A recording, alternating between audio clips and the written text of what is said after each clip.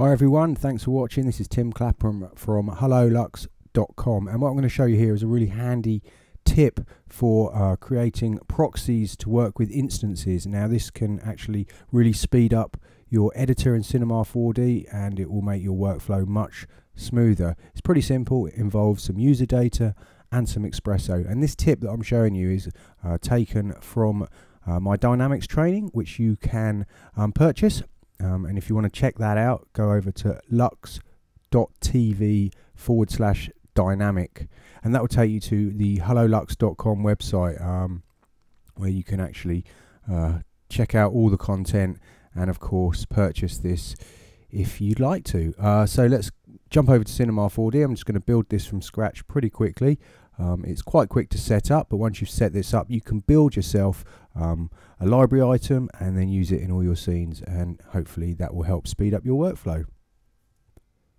So the whole point of using um, this setup is so that you can actually um, work with a low detail, low polygon count object um, and you can use this for calculating things like a dynamic simulation when you've got hundreds of objects and then when it comes to render time you can switch that out for your highly detailed high polygon count model. Um, if you try and run a dynamic simulation on a model that is highly detailed you'll probably find that the editor will come to um, a total crawl and become really slow, um, especially when you're dealing with hundreds or thousands of objects.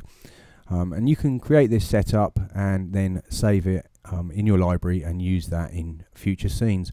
So to demonstrate this, I'm going to work with um, a simple cube, um, but obviously uh, this will work with any object. I'm just going to use a cube because I can quickly increase the segments and demonstrate the principle quite easily.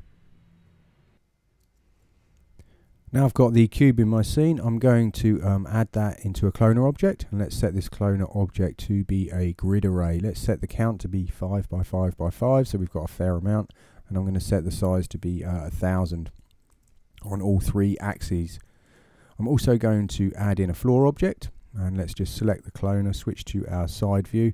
We just zoom out a little bit and we just pull this up above um, the floor like so I'm also going to kind of just rotate it around uh, something like so. So if we just pull out so we can see what's going on. Let's just set that at some kind of random angle and I'm going to select the cloner, come to tags, dynamics tags and add a dynamics body tags.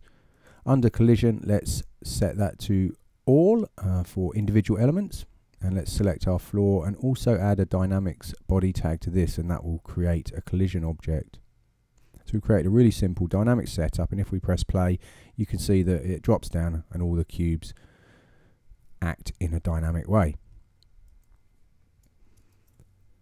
Now I'm actually rendering in the background so it is a little bit slow um, but you can see that we're still getting um, a reasonable playback speed and we can see what's going on well enough to work. If we however take our cube and set our segments up to say 30 by 30 um, so now that we have um, a kind of really dense mesh, if we press play now, you can see it really does struggle. Look, it's gone to uh, box view um, almost immediately and everything's really slow.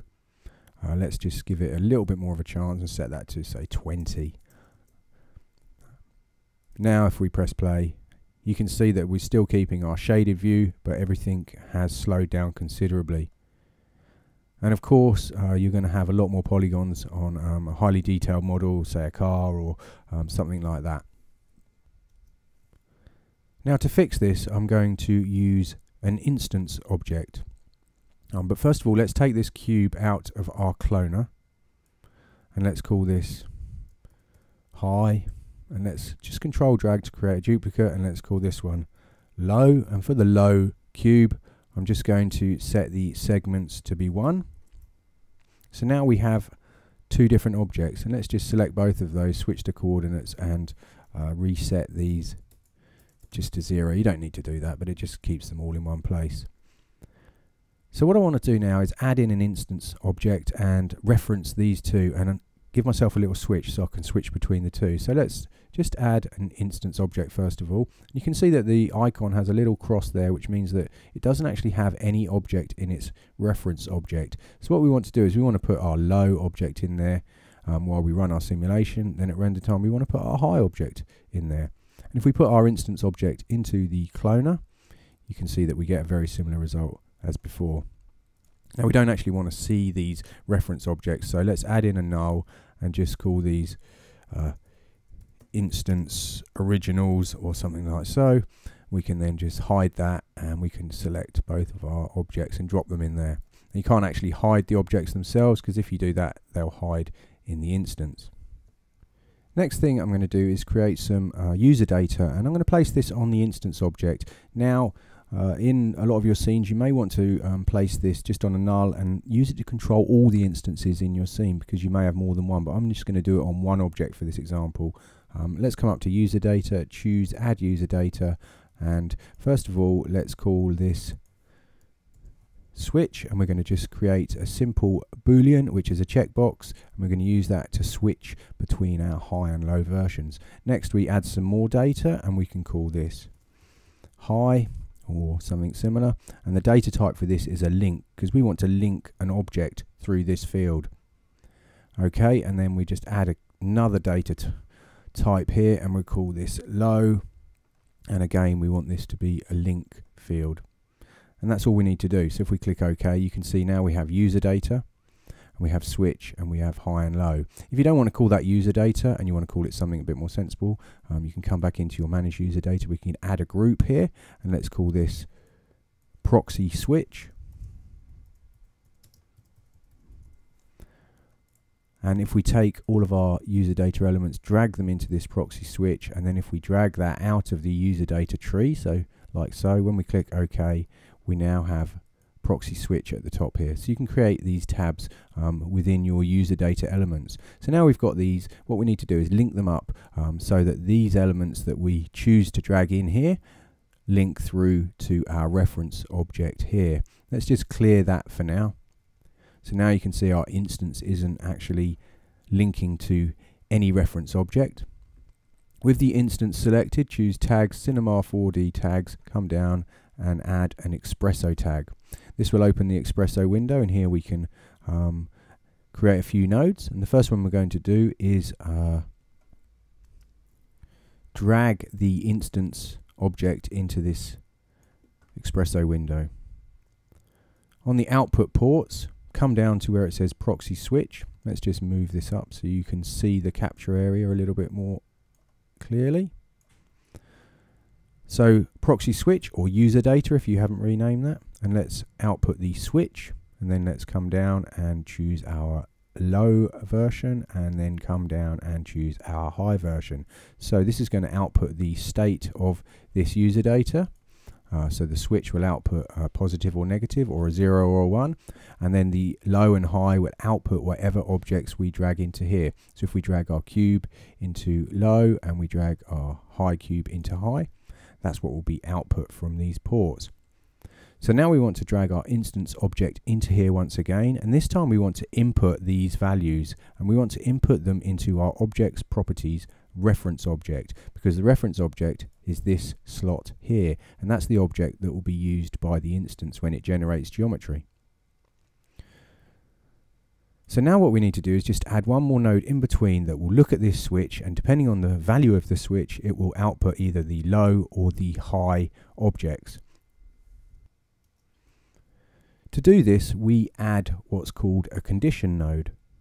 In the Xpresso window right click choose new node Xpresso logic condition and a condition node will basically look at the condition of the switch and depending on that value it will output um, any of these inputs. Now you can actually add more inputs um, but if you've only got two in there it will be based on a boolean so it will be 0 or 1 um, but you could use a kind of pop-up menu um, and output different values um, and you can use this in many different ways. So what we're going to do is take our switch value drop it onto this input which is also called switch and then we're going to take our low drag it to the first connection and then high and drag it to the second connection. Now you can see we've already got a problem. It's not letting us connect these values. Now the reason for that is because our data types do not match. And if you remember when we created the user data, we created these as links. And if we roll over it, you can see down here in the bottom um, that it says it's outputting a link. Now the input here, if we roll over, is actually a real. So we need to make sure that our condition node is working with the right data type. So select the condition node, come up to the attribute manager and where it says data type, change that from real and we just change that to link. Now we can just drag our low and our high to the first and second input ports. Next we can take the output and we can drag that to our reference object. You can see immediately in the uh, editor view that we now have some geometry showing up. If we select the instance object and come to the proxy switch, in fact let's just drag across these so we can see both, you can see that the switch is currently disabled so it's actually going to uh, take the low input because that's the first one here. So it's taking our low object and it's placing that into the reference object. Now if we enable the switch what will happen is it will then take the high object and it will place that in there. So we can just click switch and you can see that that changes to high. Now we can't see any difference here, but if I actually select the cloner itself, you can see uh, the switch has indeed take pla taken place. Uh, so we've got all that geometry there. Let's come back and just switch that back to the low version, select the cloner, and there you go, you can see. So it's as simple as that really. So this basic setup allows us to switch the geometry nice and easy. Now, in this basic setup, we've only got one instance object, so it's pretty simple to just switch the reference object anyway. But if you've got lots of these, you can set up this global switch nice and simple. Um, you can have a kind of a iterator of some kind to iterate either through a hierarchy or an object list, and you can then use that to uh, become into this instance node, and then you can switch lots of them at once. The other thing that you can do is you can actually uh, bake or cache your dynamics using the low res version and then switch it out and render with the high res version. And here's a quick example of how you can do that. So if we just select our cloner, switch to our dynamics tag, and then just let's click bake. Bakes it nice and quickly. So you can see that we now have a, a working solution. I can scrub backwards and forwards. We can then select the instance, switch to the high res version, and um, everything is still baked. And of course, if we select our cloner, you can see that we're working with the high res geometry.